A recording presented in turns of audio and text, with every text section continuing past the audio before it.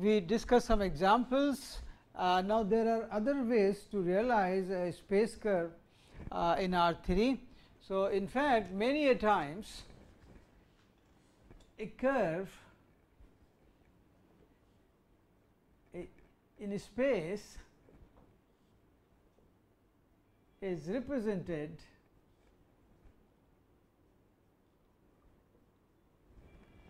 as a as a section of a surface as a section of a surface by another.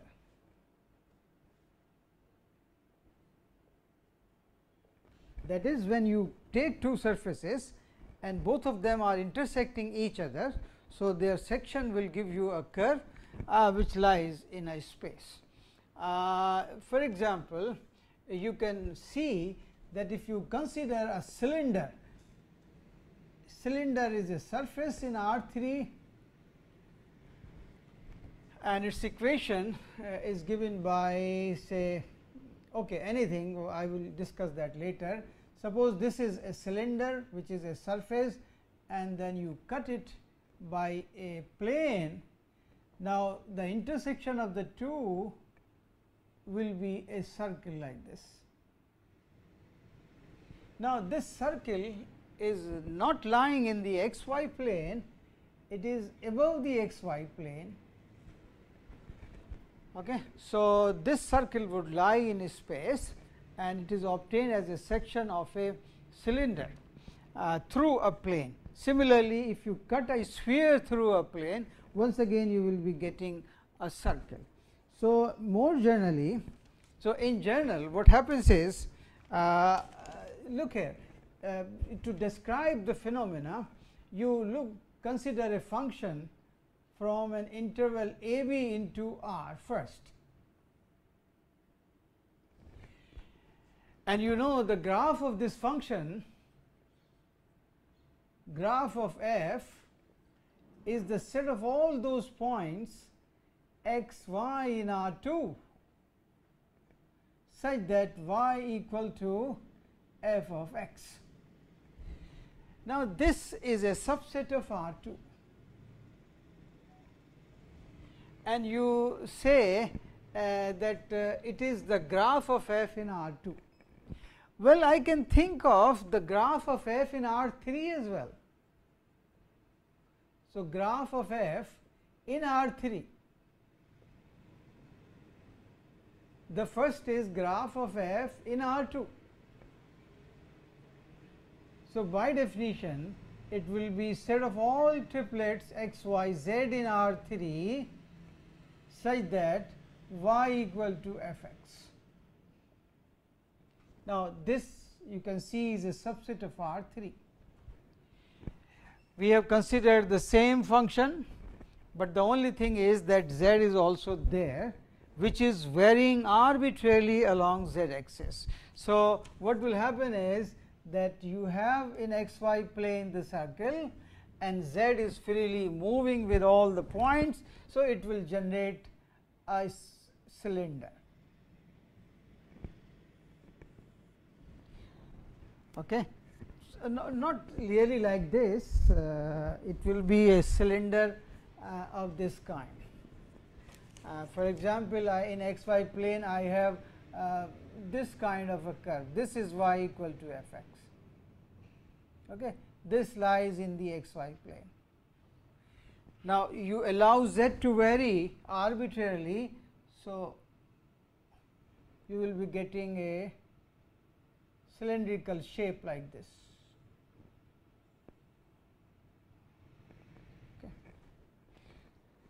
So, this cylinder is the surface which is in fact the graph of the function y equal to f x in R 3.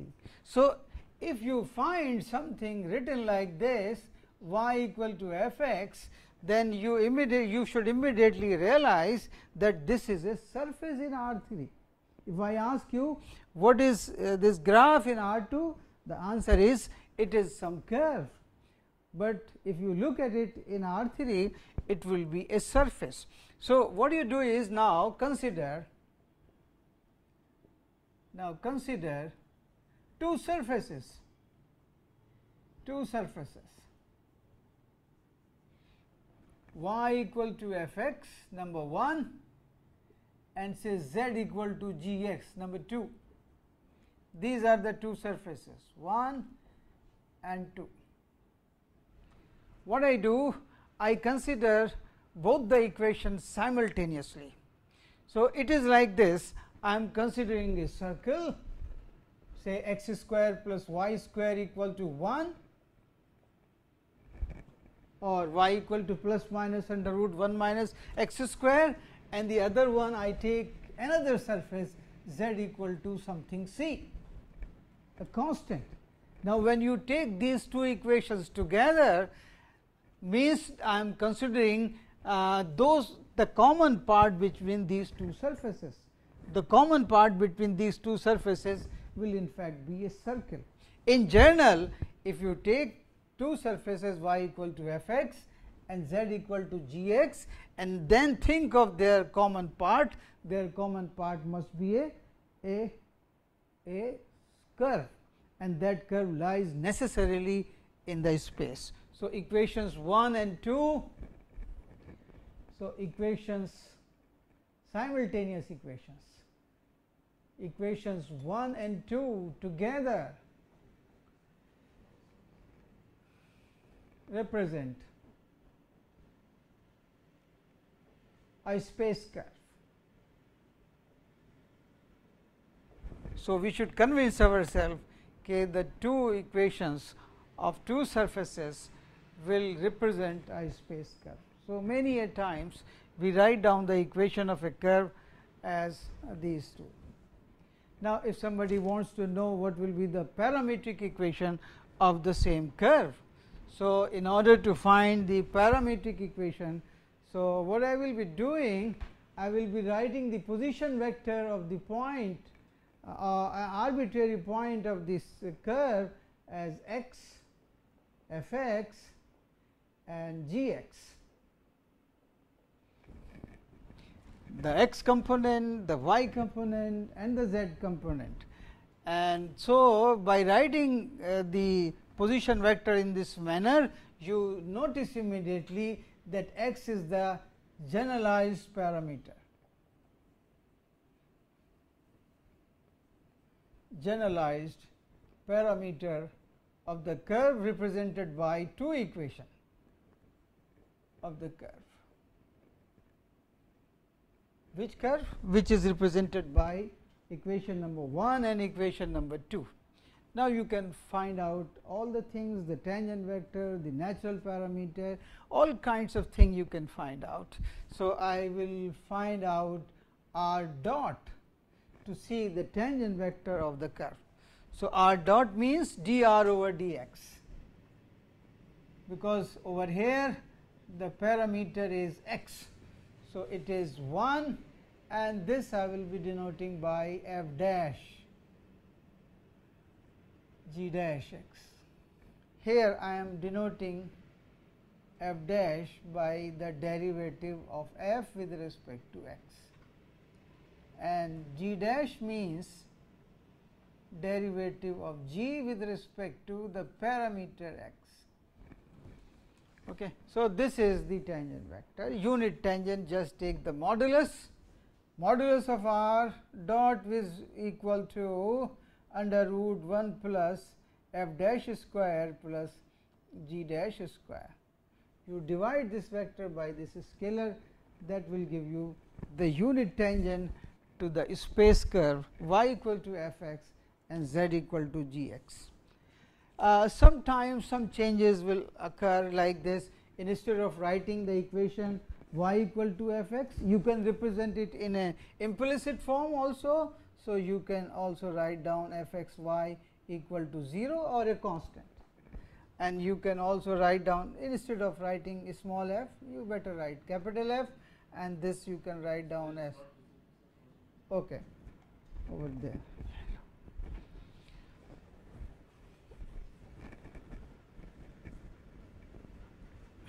so equation number 1 sometime is also written as some f x y equal to 0 and this is implicit form of equation 1 and implicit form of the second equation will be g x y equal to 0. Okay. So, sometime it is implicit form or sometime it is implicit form. The only thing that you need to keep in mind that such equation represent a surface in R 3. We are working in R 3. So, without mentioning I will say it is a surface. Okay. All right. So, now uh, now there is another come to the tangent equation of the tangent in order to work out the equation of the tangent line I need to discuss uh, something from calculus first. Okay.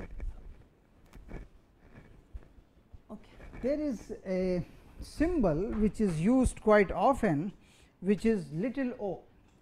So, I will explain you what is this symbol little o. The symbol O. There is a symbol of capital O also, but I am more concerned with this small o. Look here, I give you a situation. For example, I have two functions f and g, real valued or complex values. So, let f and g be real or complex valued functions.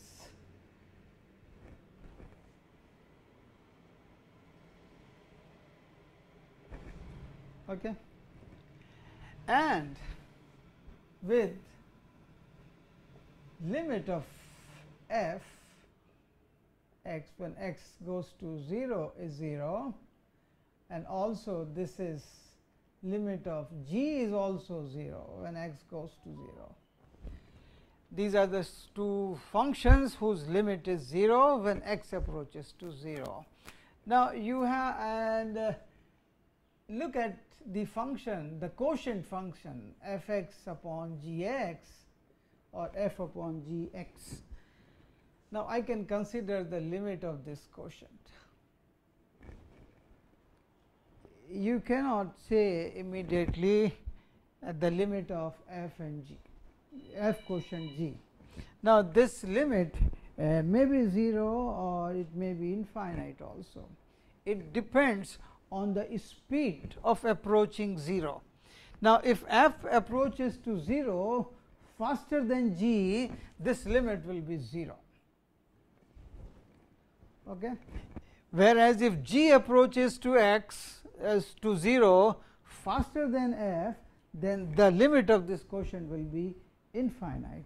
Now, in the first case, in the first case, this fact is stated by writing that f is little o x or g